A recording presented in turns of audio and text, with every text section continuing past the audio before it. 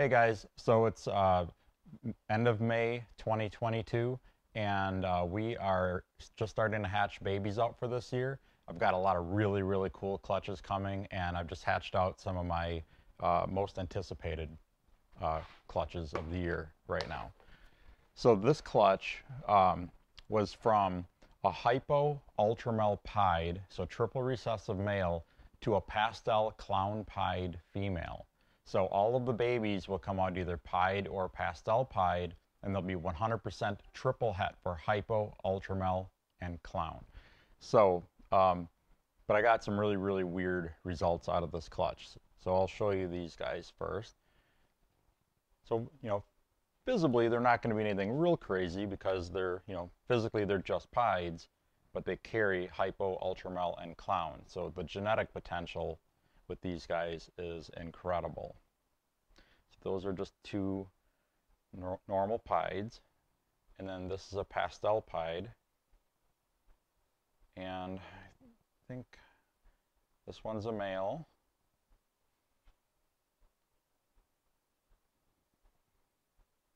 This one's a male. That's not really ideal. You know, ideally I would have gotten um, one male, two females. This one's a female.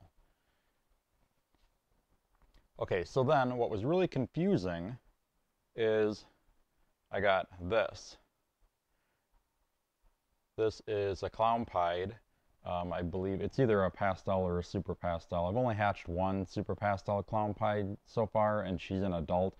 I think that she was that yellow, I'm pretty sure, but this one has got a little bit darker of a head, so I'm not sure if that's super pastel or not. But either way, the that shouldn't have come out of this clutch. It was uh, very, very unexpected.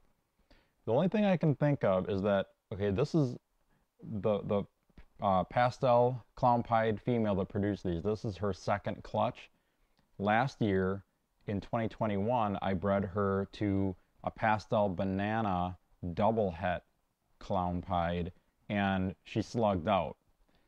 So with this, this may be a retained sperm from that breeding a year ago, but it's really weird because first of all, the, the, the whole clutch was infertile.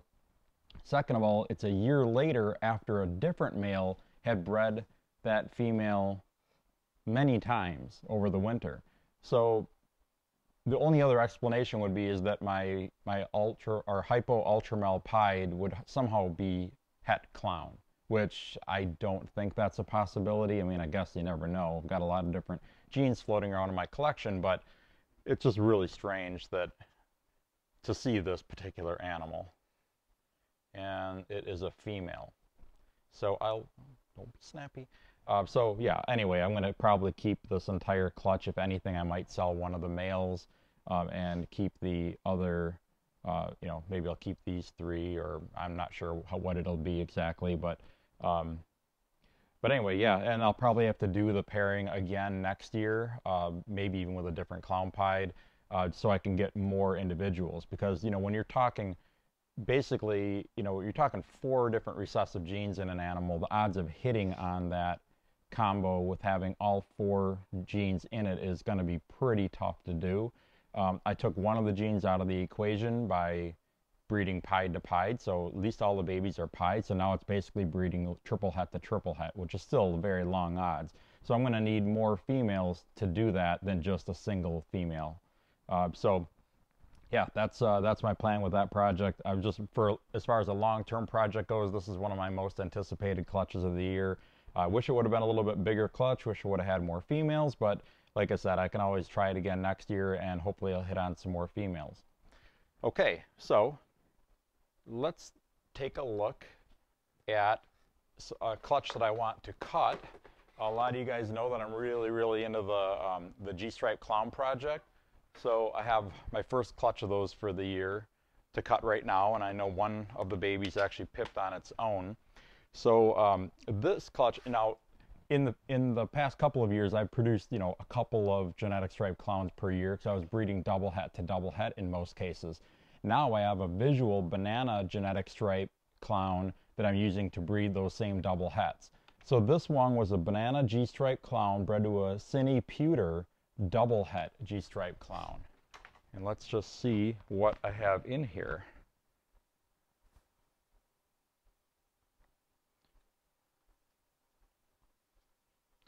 This is a pastel G-stripe clown.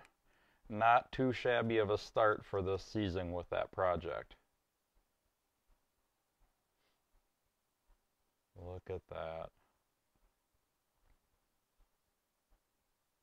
Now, this one pipped on its own. Um, for people that aren't real experienced with hatching ball pythons, I recommend waiting until the first baby pips and then very carefully cutting open all the eggs. And I prefer not to cut open the eggs too much. I like to get a good look at what's in there, but I don't need to like cut the whole top of the egg off or anything. Um, I don't want the babies to exit the egg before they're really ready.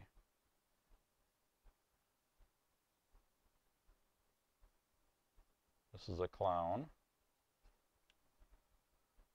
So that'll be a clown 100% het G-stripe. Don't see any other genes in that one.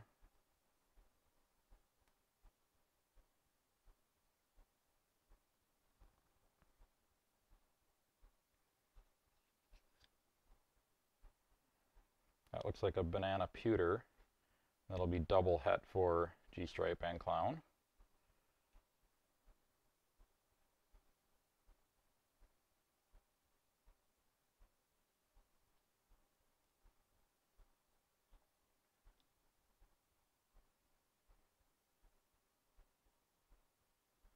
Can't even really tell what that is.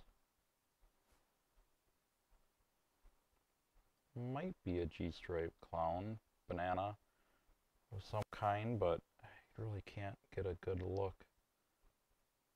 It's definitely striped. I'm going to say that is a banana G-stripe clown, maybe with another gene in there. I don't typically do a lot of egg cutting videos because it is really hard to tell what some of the stuff is in the egg, but I know a lot of you guys like to see them, so I figured I'd do more this year.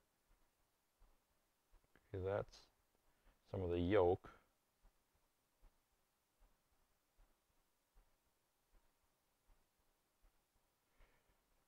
I can't tell. I don't want to mess with this one too much. It's got all that yolk in there yet.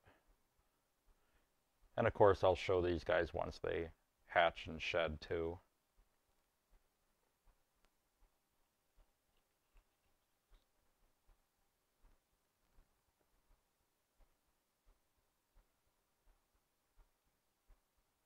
That almost looks axanthic, which I'd be really surprised if that was the case.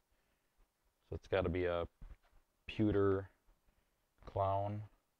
Just, yeah, it's really light and washed out. Really axanthic looking. Very cool. I'm looking forward to seeing what that looks like out of the egg. Who knows, maybe I even have axanthic floating around in there too. Highly unlikely, but you never know.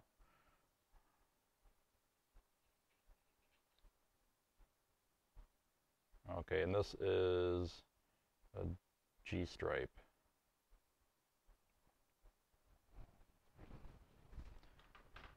Okay, so yeah, at least I hit on one. Really excited to see what this probable girl looks like once she's out of the egg.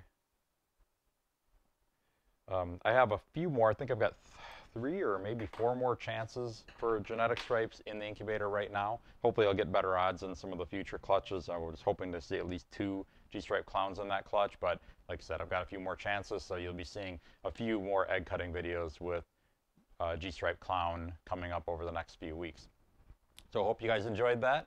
And uh, I'm going to get back to work here. Today is uh, feeding day for all my holdbacks, so I'm going to start getting on to that.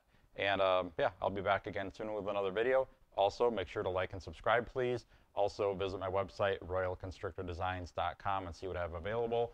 Uh, we're selling stuff pretty quick right now, but you know, I still got a pretty, pretty good selection of snakes available. Um, last year, 2021, was one of my best years. Probably was my best year ever for production. Uh, so even though snakes have been selling awesome, I just I have so many that I produced that I still have a pretty good selection left over. So anyway, take a look at that. And um, I'll be back again very soon with another video.